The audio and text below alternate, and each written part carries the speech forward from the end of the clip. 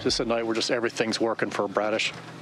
Yeah, yeah, uh, just commanding the zone, mixing pitches well, and um, you know, off speed looked great tonight. So uh, it was a fun, fun day to be a part of.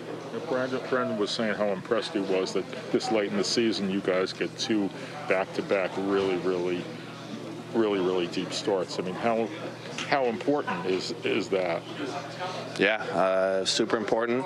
Um, you know, just giving the bullpen a breather. Uh, we got a lot of games in a row, so uh, definitely big from Kyle, and uh, just did a great job tonight. So fun to be a part of. A little more impressive, a little more impressive to do it against that lineup. Uh, yeah, Houston's a great team, uh, so uh, definitely, definitely kudos to Kyle for uh, the way he performed tonight. It was unbelievable. How have you seen Kyle grow over the course of this season? Um, you know, it's just uh, he's uh, you know he's studying after he throws. Uh, he studies the teams that we're facing, and um, you know you combine a good work ethic with uh, great stuff, and um, eventually you know he's going to continue to just get better and better, and um, I think that's what you're seeing. He said he felt good in his bullpens. He felt good warming up. At what point do you kind of notice this is going to be a good night for him?